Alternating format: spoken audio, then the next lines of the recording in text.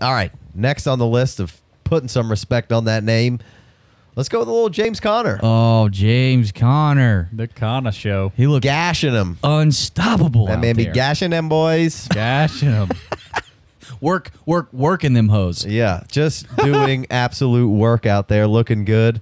Um, I thought that was a very solid game from him on, on la- two weeks ago, and then he put out a really great game in this past week uh, against the Packers. Cutting them up. Yeah, the Packers defense, you know, didn't look good. All the running backs kind of did work for the Steelers there. Sure. Uh, Toussaint. Toussaint got in there and did some work, and Jaylen Samuels had a good game. So, but like nobody could could tackle James Conner. I mean, they were trying to come correct and just be getting flown flung off, and he just looked unstoppable. He didn't get. I think he had five runs. He didn't get a ton of work. He was out of there, and they let the rest of the other two take over. But it was just, it was awesome to see. And I mean, if I was Le'Veon Bell, I would have reported to practice the next day.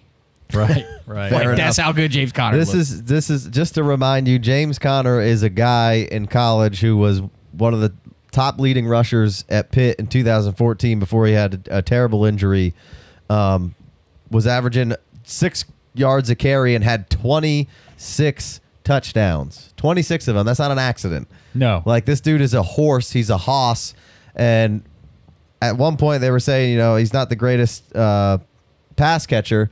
He got uh he had the injury and then he had all that cancer stuff happen to him, which was also terrible. He came back his senior year and, and caught 21 balls, which was by far the most he had ever caught in his he career. spent all offseason in the wide receiver room, Right. learning how to. Well, this is what we gave you last year in the rookie mock it up before you fuck it up stuff, and it was it was James Conner, and just like Casey said, it was you're you're looking at his most recent college season coming out.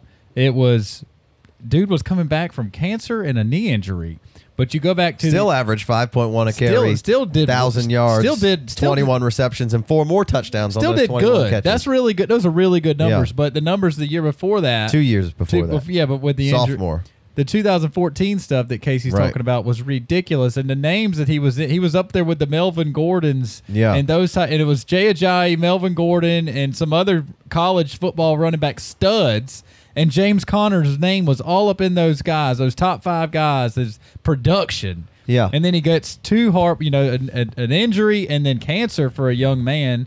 Two things that you don't want to have. Obviously, you expect injuries in football, but you definitely don't expect a 19 year old man to get cancer. Battles it, comes back. We gave you all this stuff as a rookie coming in. was absolutely looking ridiculous in that season that he tore And you his have- leg early on. Right. And then you have some people talking about how bad he looked last year. He didn't really look that bad. And now you've had a year to get in here and be a pro pro football Right. player, have pro trainers, have get farther away from your cancer battle. Right. And far- it was the MCL tear as well. that Yeah. he had that one. Yeah, yeah, so I mean, I you think got he ended up with a knee injury last year at some did, point yep. too. this this to me this is this is one of the best stories in football, man. Yeah, This- and it, it's a it's a fantastic story, and and just not to get caught up in the story, like He doesn't even guy, want you to the guy care about the story. Awesome. The Right. guy is That's a what I'm fantastic saying. running back, It's and you can. Listen, I like Jaylen Samuels. I think he's very interesting. He's super intriguing.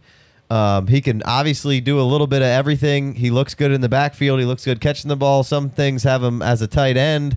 Like you don't really know how Jaylen Samuels, and he's very interesting. But to me, it's a no-brainer. Which guy's the handcuff to Le'Veon Bell here? And, I, and I, it's James Conner. I completely agree. yeah, absolutely.